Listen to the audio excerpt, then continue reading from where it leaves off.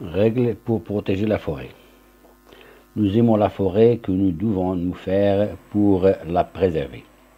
Même les plus petites actions, si elles sont faites par nous tous, peuvent donner de grands résultats.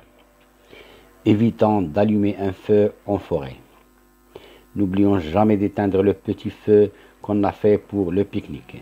Ne laissons pas de déchets derrière nous après un pique-nique en forêt.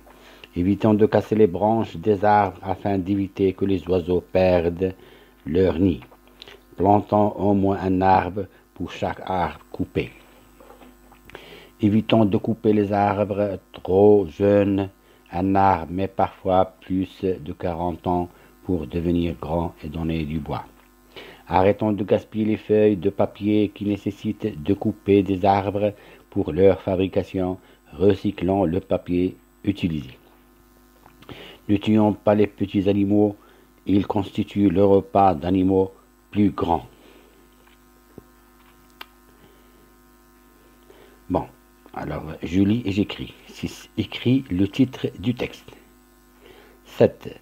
Que doit-on faire après un pique-nique en forêt? Pourquoi est-il interdit de tuer les petits animaux de la forêt? Je m'évalue.